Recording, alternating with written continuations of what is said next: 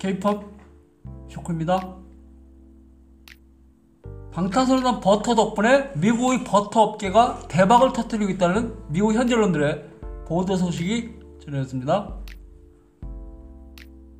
방탄소년단 버터는 지난 5월 21일 공개 직후 전 세계 92개 국가의 아이튠즈 차트에서 1위에 올랐을 뿐만 아니라 세계 최고 권위 빌보드 핫백 차트에서도 7주 연속 1위를 기록하는 등 미국 등 전 세계에서 폭발적인 반응을 일으키고 있는데요.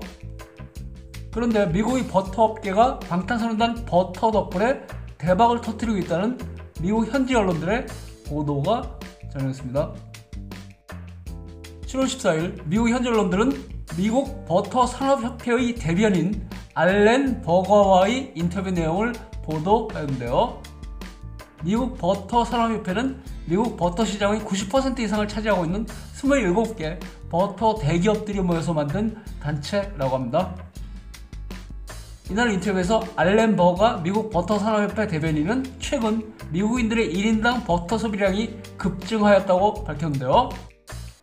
알렌 버가 대변인에 따르면 2021년 7월 현재 미국인들의 1인당 버터 소비량이 지난 1960년대 이후 최고 수준이라고 합니다.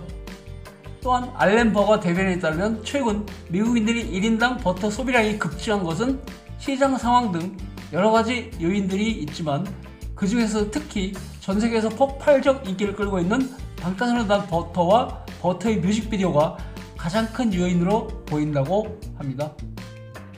한편 지난 7월 13일 미국 버터 산업 협회는 공식 트위터 계정을 통해서 빌보드 7주 연속 1위 곡인 버터를 통해 우리 모두가 자랑스러워하는 버터를 널리 알려주셔서 감사드립니다 BTS 라는 감사의 글을 올렸습니다.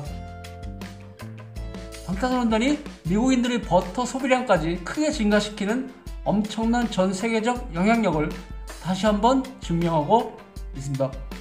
지금까지 K-팝 쇼크였습니다.